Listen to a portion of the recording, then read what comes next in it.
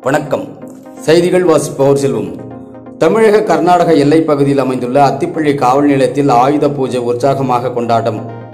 அவள் பொறி கடலை பழங்கள் படையலிட்டு சா- சாமுண்டேஸ்வரி தாய்க்கு வழிபாடுகள் பெங்களூர் மாவட்டம் ஆழிக்கல் தாலுகாவில் உள்ள அத்திப்பள்ளி காவல் நிலையத்தில் நேற்று வியாழக்கிழமை மாலை ஆறு மணி அளவில் சர்க்கிள் இன்ஸ்பெக்டர் விஸ்வநாத் தலைமையில் மைசூர் சாமுண்டேஸ்வரி திருவுருவ படத்தை வைத்து சரஸ்வதி பூஜை மற்றும் ஆயுத பூஜை கொண்டாடப்பட்டது.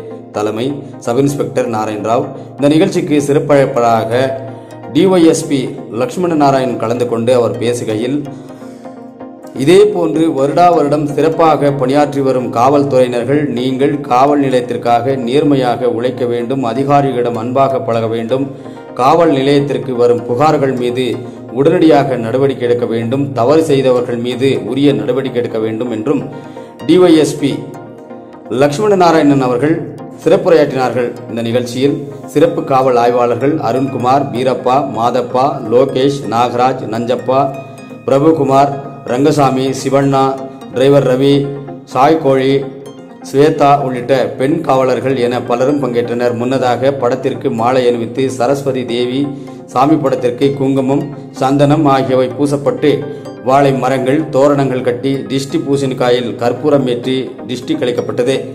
இதையடுத்து மங்களாரத்தி காட்டப்பட்டு அனைத்து அனைவருக்கும் பழங்கள் அவள் பொறி கடலை உள்ளிட்டவை பிரசாதங்களாக வழங்கப்பட்டன. செய்தியாளர் செல்வம்.